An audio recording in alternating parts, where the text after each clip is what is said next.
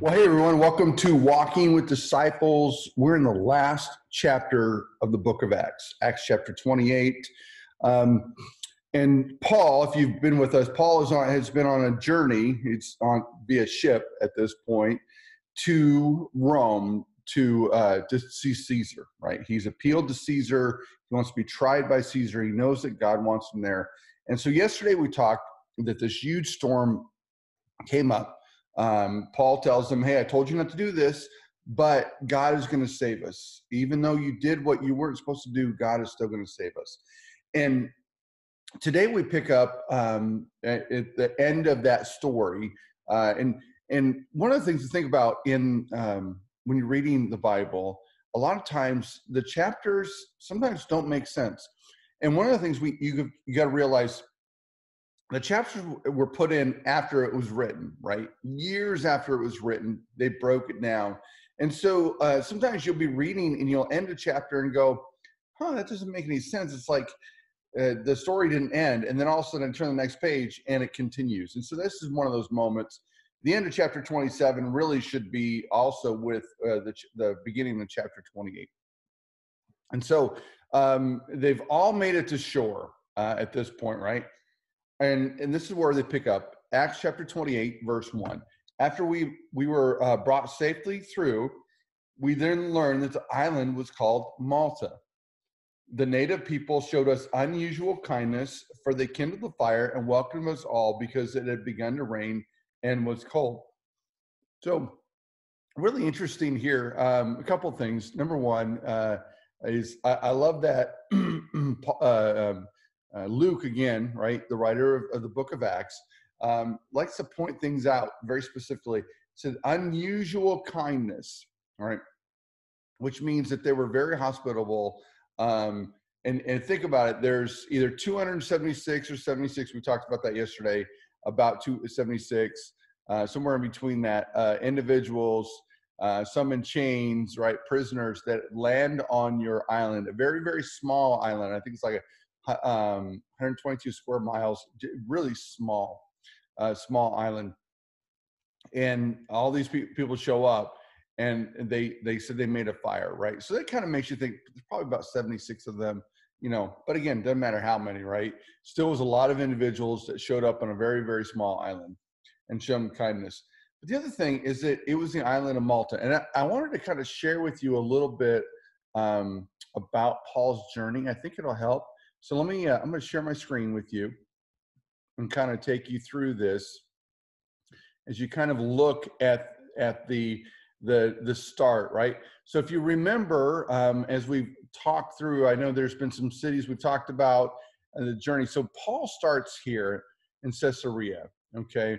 You can see Caesarea, Sidon, right? They come around, remember the Lee of Cyprus, talking about the Lee of Cyprus, Myra, right? Um, and then going through Fairhaven, you know, this is where they're going to go. And then we talk, talk about Phoenix as well. Um, but then, but then they they head off on their journey, and this northeastern comes in. And remember, for 14 days, well, you can imagine, see how long it would have taken from here to get to Malta, this tiny, tiny little island nation um, off the, the the south of here's kind of Italy, if you and um, Sicily's right here. Uh, this is Italy.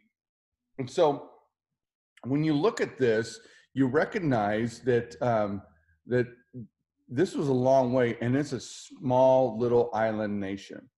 So I, I, point that out because there's a couple of things that are very, very interesting to, to me, at least. So if you look up the island of Malta, the Maltese, okay, if you've heard that before, like Maltese Falcon, right? Maltese, it's a it's a country. Um, it's uh, in in the European nation. Uh, its currency's euro. You know, um, uh, I, I, think it was part of Britain for until 1963, 1974, somewhere in there. Right, some history.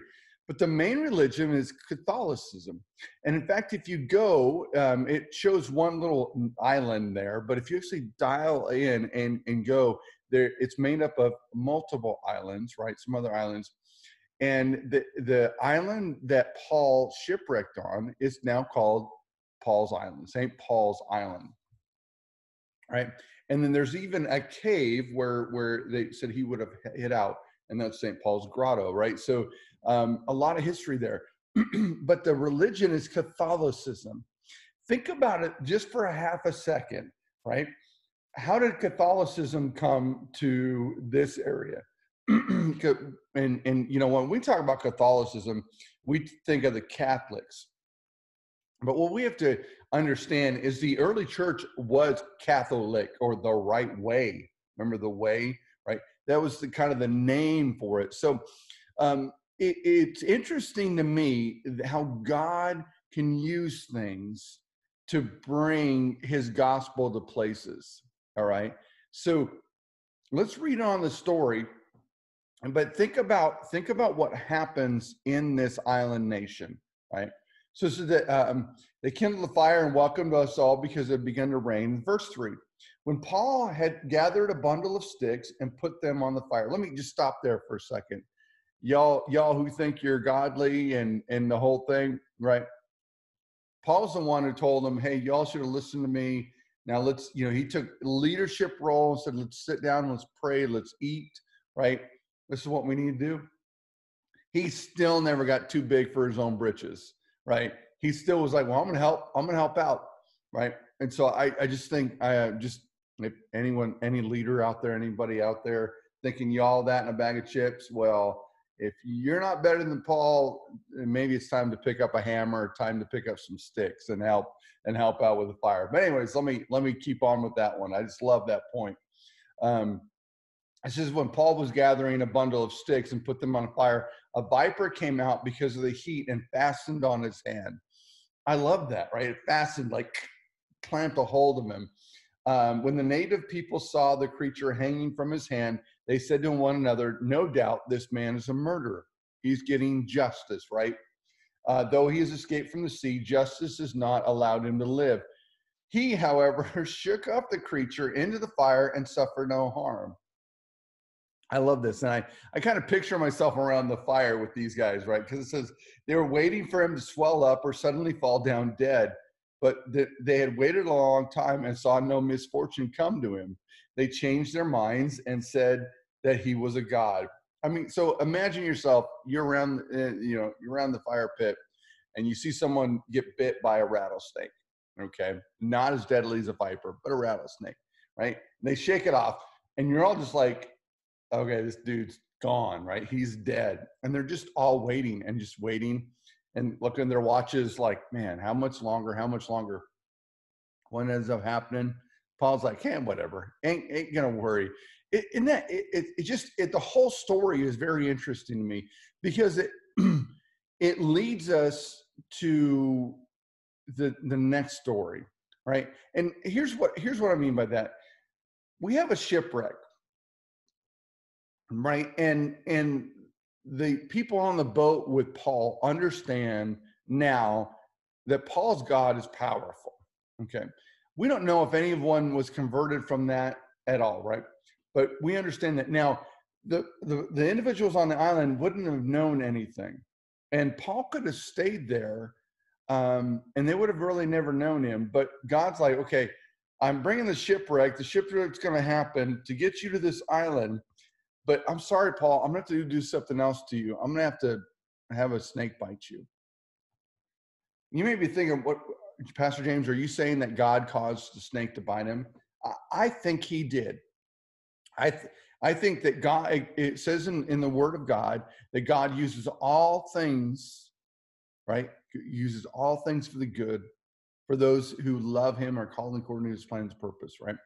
And so God, I believe, used this snake bite, this moment, to show the people of the the, the Maltese, right, the uh, Malta Island, to show them this was not an ordinary man. There's something about him.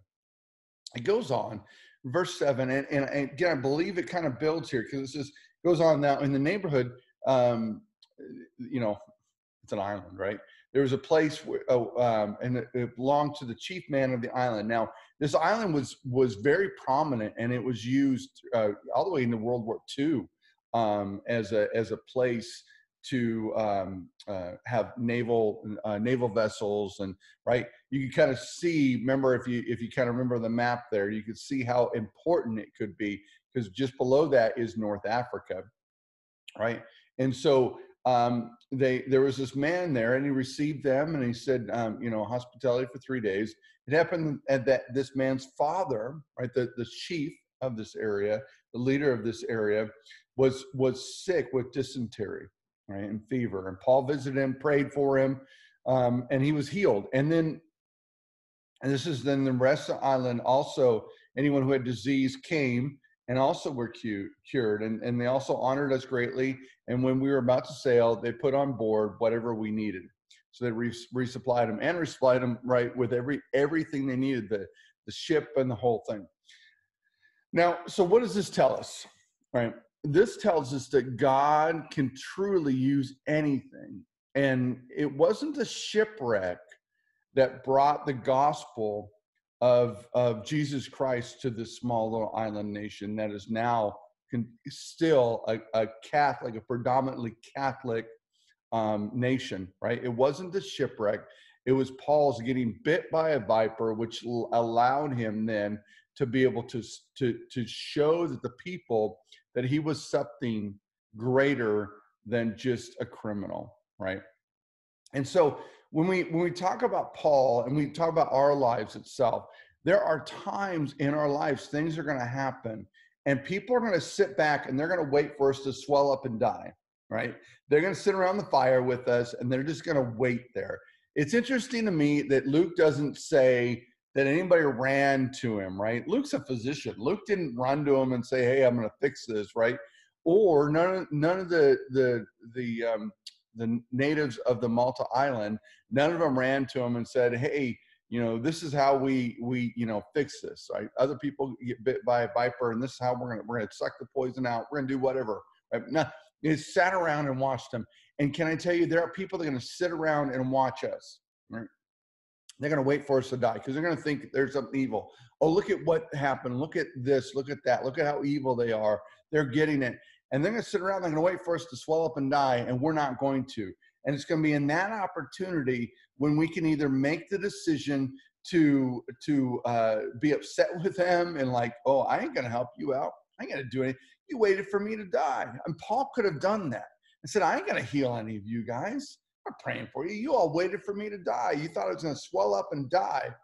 Or we can be on the opposite side, say, hey, hey, that same God who protected me is the same God that's can protect you. So love you guys. Monday we're going to pick up. Uh, Paul is going to arrive in Rome. We're almost done, believe it or not, with the book of Acts.